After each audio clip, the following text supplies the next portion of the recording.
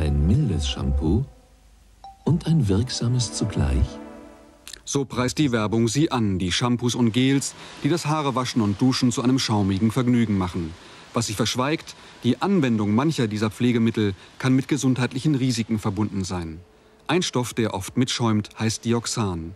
Er steht im Verdacht, Krebs zu erregen. Die Kosmetikverordnung verbietet den Stoff vollständig. Das heißt, es darf Dioxan überhaupt nicht in Kosmetika vorkommen. Und dies aus gutem Grund, denn der Stoff ist aus Tierversuchen eindeutig als karzinogen bekannt. Dem Bundesgesundheitsministerium ist das Krebsrisiko durch Dioxan seit Jahren bekannt.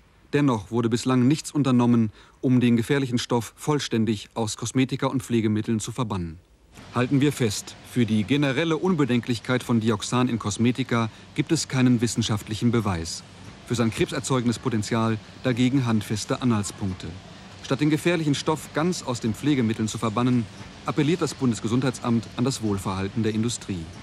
So werden die Verbraucher damit leben müssen, dass sie sich krebsverdächtige Substanzen weiterhin auf Haut und Haare reiben. Wenn eine industriefreundliche Gesundheitspolitik bedenkliche Stoffe immer so lange auf die Bevölkerung einwirken lässt, bis auch beim Menschen letzten Endes vielleicht ein, eine krebserzeugende Wirkung bekannt ist und alle wissenschaftlichen Zusammenhänge erforscht sind, dann ist dies verantwortungslos.